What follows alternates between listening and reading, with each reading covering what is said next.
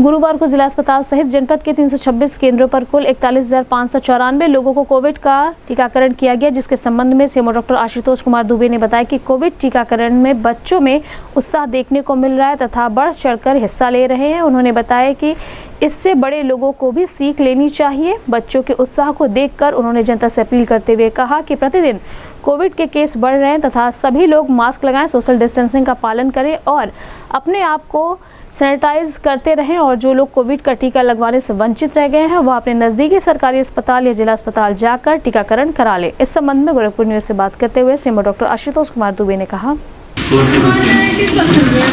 किसी नंबर बता आप अरे मो अब दीजिए आधार दीजिए मोबाइल नंबर बोलिए चार छः द्वार होगा मुझसे मैडम पहला डोज लगना है। दो सौ साठ। तीन सौ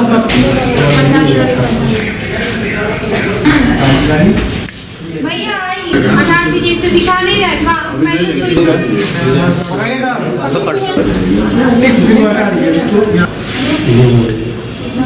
तीन सौ चालीस जगहों पर जो है टीकाकरण का कार्यक्रम चल रहा है और हम लोगों ने आज अपना लक्ष्य निर्धारित किया है कि कम से कम चालीस हज़ार लोगों को वैक्सीनेट करेंगे और 18 पंद्रह से 18 साल के बच्चों में करीब बीस हज़ार लोगों को हम टीकाकरण कराएँगे।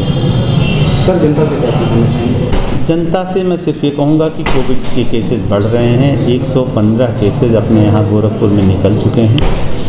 मेरी सबसे अपील यही है कि सब लोग मास्क लगाएँ, सोशल डिस्टेंसिंग का पालन करें, अपने को सैनिटाइज करें और जो लोग टीकाकरण कराने से वंचित रह गए हैं, वो यथाशीघ्र टीका खुद लगवाएँ और दूसरों को भी लगवाने के लिए प्रेरित करें। अभी बच्चों में काफ़ी ज़्यादा उत्साह है, बच्चे बढ़ चढ़ करके हिस्सा ले रहे हैं और इससे हम बड़े लोगों को और उम्र लोगों को सीख लेनी चाहिए, बच्चों के उत्साह को देखते हुए।